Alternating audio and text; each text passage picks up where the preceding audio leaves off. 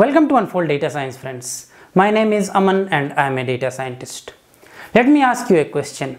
If you watched my last video on clustering, then what is the basic purpose of clustering? The basic purpose of clustering is similar behaving people, similar behaving customers, similar behaving products, similar behaving items should be assigned to one cluster and people, items, attributes, products which are not similar to these should go to other cluster. That is the fundamental of clustering. Two purposes. All these guys should be same and all these guys should be different from these guys. Okay. In this video, we will understand how do we measure the accuracy of your cluster. Now, when I say accuracy, since it is an unsupervised learning, there is no direct way of measuring the accuracy. So, based on those two things that I told just now, there is a coefficients defined that is known as silhouette coefficient or silhouette distance. Okay. Based on this, which ranges in the range of minus 1 to plus 1, we say that how good our clusters are formed okay so we will understand how this distance is computed in simple plain english with some basic example you will be very easily able to remember this always. So what are the two purposes guys? I told you two purposes right? Purpose number one of clustering is these items should be same to each other right? This is known as cohesion. Cohesion okay? Cohesion means these people are similar to each other. And these people should be different from these guys. So separation okay? Cohesion and separation.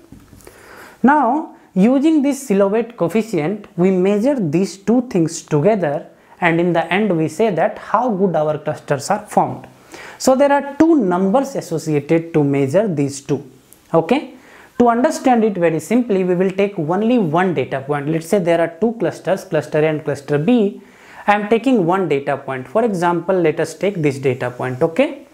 There are two variables defined to compute the silhouette coefficient for this data point, okay? And in the end, the silhouette coefficient of your entire cluster is nothing but mean of all your silhouette coefficients. So I am going to explain you how to compute silhouette coefficient for this data point. In our observation, how many data points are there? 1, 2, 3, 4, 5, 6. So all of these will have 1, 1 silhouette coefficient. Take the mean, whatever that number comes, that is your silhouette coefficient of entire cluster. Let us understand how to compute for one data point. There is a variable called A, okay, to compute cohesion. A for a data point i for example, this data point I am considering as i. Okay.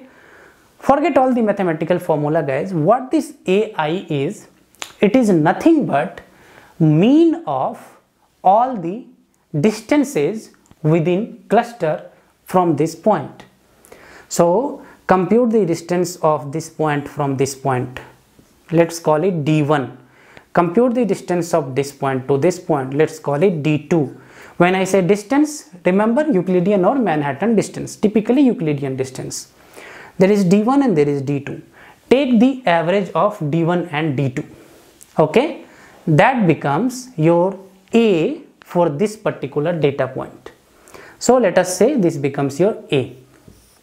Now this is to measure the cohesion, how closely this cluster is associated with its neighboring guys, its neighboring, you know, same uh, same group people or same group items right?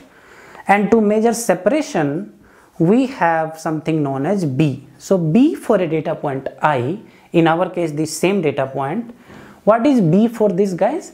B is nothing but you take distance of this point from all these points. 1 2 and 3 right? How many distances we have now? 1 2 3 so let me write it d3 d4 and d5 take the mean of all this. Take the mean of all these. Mean means average. Okay? That average will be a number. For example a1 let's call it now in this scenario we have only two clusters hence i am taking you know for representation I am telling you how to compute the average from this cluster. There is a possibility that same way this A2 will be computed for some other cluster. For example, if there are three clusters, A2 will also come. If there are four clusters, A3 will also come. But end of it, the formula remains same. See the distance of this point from all the points in that cluster, take the average. And what is this BI is? It is nothing but minimum of all these averages. Take the minimum mean. Okay.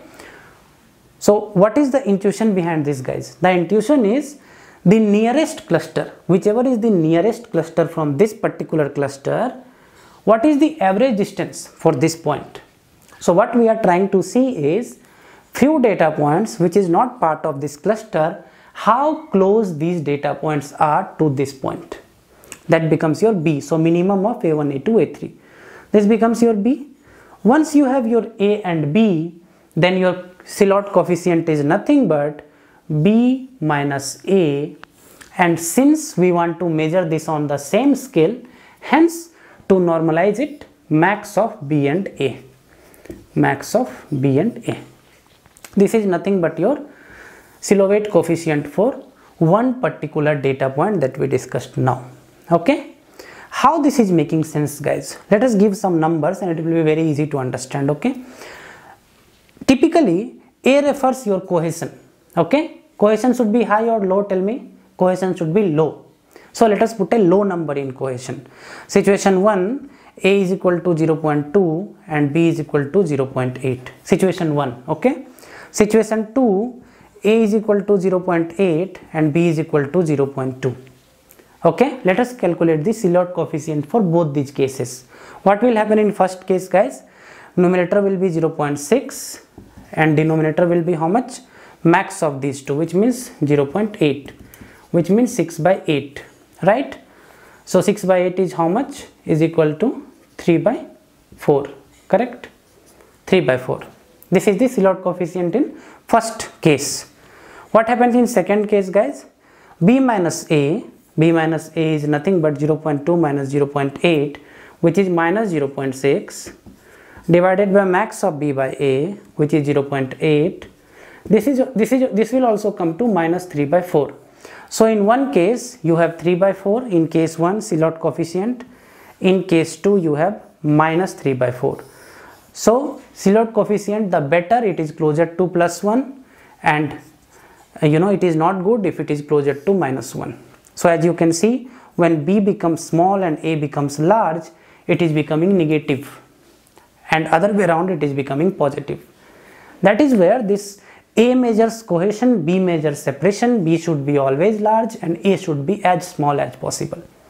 How to capture that? Using one simple formula in silhouette distance. Once you have all the silhouette distance for all the all the numbers, all the data points, you just take the average that becomes for the entire cluster. So that is how you measure how how good your clusters are using this silhouette coefficients okay so if somebody asks you tomorrow how this works how the, this is working what mathematics goes inside simple way you can say two things we try to measure. One is cohesion other is separation. Cohesion is represented by a separation by b. B should be large and a should be small. And in this formula if we plug the numbers in that way then we will see a good score. If we plug the numbers in opposite way we will see a bad score. So I hope you understood how this works guys. Very simple to explain, very simple to understand. If you have any doubts, write me in comment. Please press the subscribe button and the bell icon if you like this video guys. I'll see you all in the next video. Till then, wherever you are, stay safe and take care.